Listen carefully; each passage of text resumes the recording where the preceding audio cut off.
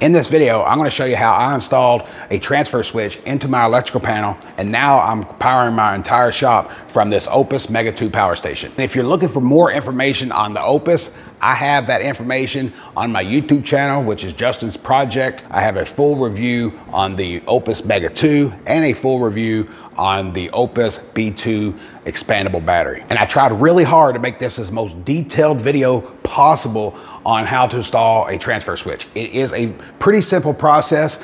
I do want to throw a disclaimer out there really quick that I'm not a licensed electrician or a certified electrician. I am comfortable with doing this type of work. I have wired my entire solar system. I've wired this entire shop. I've done a lot of electricity work, but I do need to point out that I'm not a licensed electrician or a certified electrician. So if you're not comfortable working with electricity, I would recommend reaching out to an electrician, have them come out and hook this up. If you're comfortable working with things like this and you want to take on the risk, then be sure to check out the rest of the video. Now let's rewind in time and start from the beginning. So first let's talk about what you're gonna need to complete this project. Of course, you're gonna need a transfer switch and this is by Reliance. This is a ProTran 2 30 amp uh, transfer switch and we'll talk a little bit more about this a little later in the video, actually about the transfer switch itself and what comes with it. But depending on your uh, install, you may need additional breakers. And in my install, we're gonna need 20 amp breakers because we're gonna be replacing some of these 15 amp breakers. And you're gonna need some wire connectors. I'm gonna be using these Wago connectors. And you can see that I have some for three connections, two connections, and even uh, just one single connection. Depending on your setup and how you're gonna do your install and what's actually inside of your box when you're gonna connect the wires will dictate what type of connectors that you'll need. But I would recommend these Wago uh, 221 connectors. And that's pretty much all the hardware you're gonna need to hook this up and get you running. Now, depending on your setup, you may need additional conduit to run your wires in, but they do give you some conduit uh, to place into your box. Now, in my scenario here, we have a trough. I got an electrical trough, so it makes things a lot easier for me, but you may have to cut into the wall and then go straight into the box in your setup, but it's really no different than me going into the trough and then running into the box from inside the trough. And next, I wanna talk about the tools that I know you're gonna need for sure. And if I miss anything, I'm gonna cover that throughout the video. But first, we got a pair of wire strippers and wire cutters, or you can use one single tool like this here, that's got the stripper here and the cutter up here, a uh, screwdriver, a four-way, you're gonna need a step bit for drilling into any metal in case you're going into the box where you have a knockout, then you wouldn't need this, but I'm gonna need that to go into my electrical trough. Then I have another four way here just for making things quicker and a drill for using this step bit. And I don't wanna forget to mention, be sure to have you a pair of gloves, some ear protection, and some eye protection. And prior to even purchasing your transfer switch, it's important to locate which circuits that you want to back up. In my service panel, we're going to be backing up this 15, this 15, this 20, 20, 20, and this 20 uh, amp circuits. Let's discuss what comes with the transfer switch. Of course, you'll have a manual, You'll get your exterior box, or if you want to place this in a different location, the connection to the transfer switch, you can use this box. This particular model comes with an additional adapter where you could plug in a 20 amp cord, but I won't be using that adapter in my scenario, but with this model, you do get that. We also received some conduit. This is 18 inches and it does have the protective sleeves on each end We'll get a 10 foot, 30 amp power cord, which is very nice that that's included because those are pretty expensive. Some electrical wire nuts, and then the connectors so you can connect your conduit into your electrical trough like I got here or into your electrical panel. And of course, last is the actual transfer switch itself. This is a 240 volt transfer switch. I'm gonna be using it as a 120 volt transfer switch and it doesn't make a difference of how I'm gonna be wiring it today, whether I wanna use it as 120 volts or 240 volts. That all is dictated by the special little cord that I have that will plug into this from the generator that we're using. So if we want to use it as 120 volts uh, one day, and then we want to turn around and use it as 240 volts the next day, we can. It's just a plug that will make a difference, not the way that we're wiring this. And this is the adapter that I'm talking about. This side would plug into your portable power station, and that four wire section would plug into the cord that come with your transfer switch. And this is pre-wired for a 10 gauge wire that would run that 30 amp maximum breaker that we see rated up here. And these 20 amps, if we wanted to put it in these four slots, is the maximum that we could put there. And all of those other wires that you're looking at here are 12 gauge wires. And once I get this completely wired up, I'll show you exactly how this functions and how to operate the transfer switch. This is a step that you may not have to do. I have to change out a couple of these 15 amp breakers, so I have to take the cover off of this transfer switch to put those 20 amp breakers in.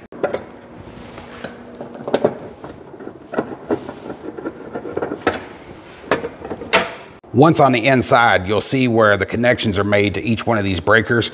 All I'm gonna do for these two here are just remove this bridge and this bridge to create independent breakers for each one of these. So we'll have two 20 amp breakers rather than one single 20 amp breaker. And we're gonna replace these two with 20 amp breakers. So we're just gonna remove this uh, blue wire and this orange wire and put 20 amp breakers in. Now it is important that we get compatible breakers. And you'll see at the main bottom right there that it see, says G-E-T-H-Q-L. That's the breakers that I have that I'm gonna be putting in this uh, panel box. Now watch how easy this is to remove. So flip your breaker up and then start to rotate this. All we're doing is backing out the pin. You wanna be careful because that centerpiece will drop. And after further review, I don't think this is a breaker that you can just remove this bridge. There are double pole breakers that you can just remove the bridge and you can use them individually. I'm looking at the markings and on the back side of this, it says internal common trip. So I'm guessing this is together and I wanna make sure I'm installing the proper breaker here. So I'm just gonna get two additional 20 amp breakers and I'm just gonna replace this with two individual 28 breakers that I can buy from the store.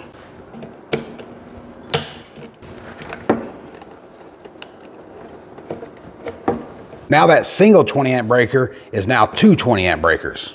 And to change these out is exactly the same thing. Let's just loosen up one of these. Pull the wire out. And take the breaker out. Let's fix that wire. That looks better. And then we'll just reinstall it.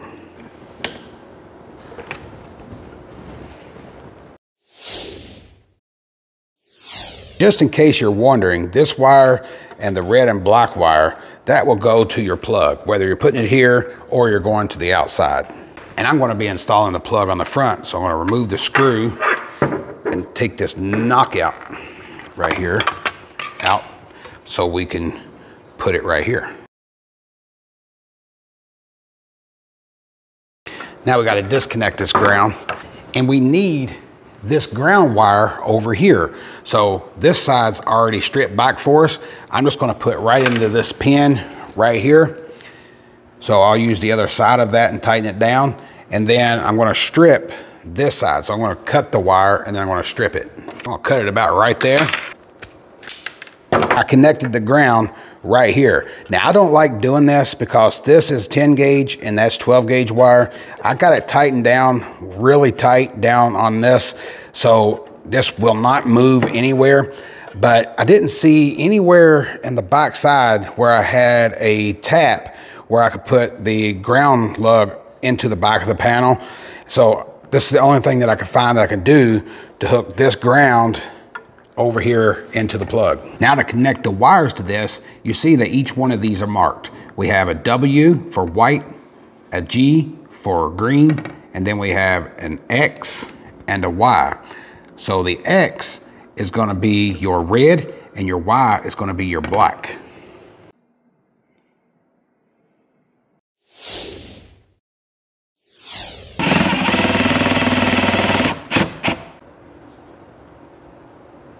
Next, we need to find the center of our conduit and mark it on the box so we can start drilling our hole. I'm gonna guess about right there.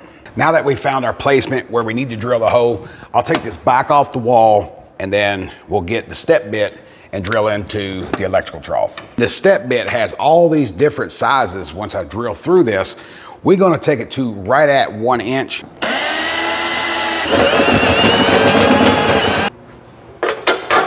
Now that I've got the transfer switch put back up on the wall, we'll grab our measurement for the conduit that we need to put down here at the bottom.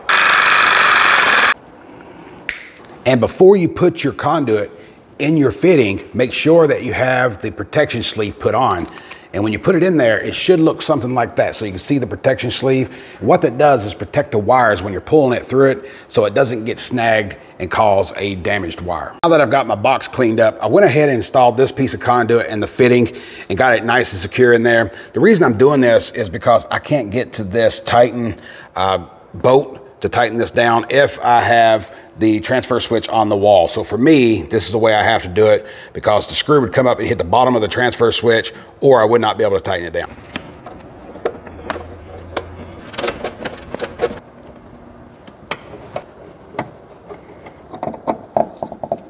And if you need to, make sure to come back and tighten down this nut on the inside of your transfer switch because this could loosen up and you want all these to be tight. Up to this point, we haven't had to turn off any power, but we are about to run these wires into the service panel. So you wanna make sure that you're turning off all power to the service panel if possible. This is a sub panel, so I'm able to use the feeder breaker in my main service panel to turn this off and have absolutely no power in this. Now, if you're working in a main service panel, then you're gonna have uh, power on the bus bars even though you turn off the main breaker. So just be aware of that. While I'm doing this, I'm gonna go ahead and use the OUPES Mega 2 to power these lights so I can actually see what's going on when I take the panel off.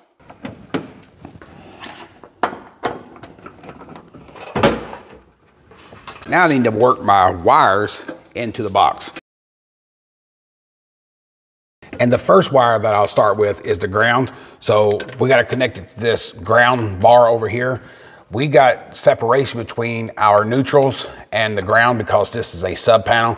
If you were working in a main panel, more than likely you're gonna have that gonna have a neutral ground bond so you'll be able to connect them to the same bar. But when you're on a sub panel, that will be uh, separated. And I'm just gonna take this up, get a quick mark on it where I wanna cut the wire. Then the next wire that I'm working with is my neutral. I'll make my bend, I'm gonna go right into that lug right there, just to kind of give me a little bit of relief down here. We'll go right there, there's my mark.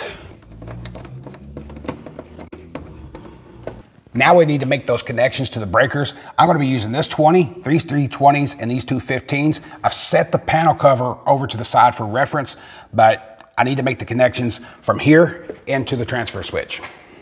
And identifying what wire hooks to what breaker is very simple because each one of these have corresponding letters for each breaker and each wire has a marking for A's.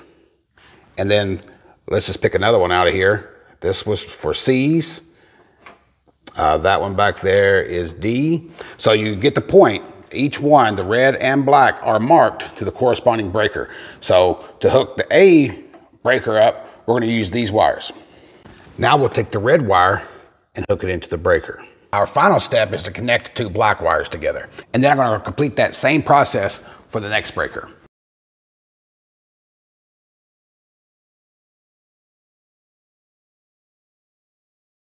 And we just keep continuing that process over and over until we have them all connected.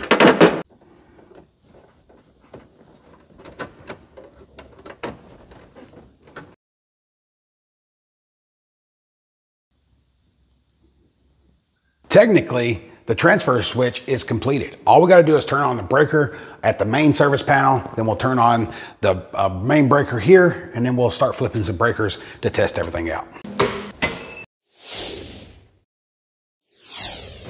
And now that we have the transfer switch turned on, everything is on generator side, so it's all being uh, produced from the OUPES Mega 2 power station. We do have an additional OUPES B2 battery that's compatible with the Mega 2. So if you're interested in those, be sure to check those out because this is running this entire shop from this power station currently.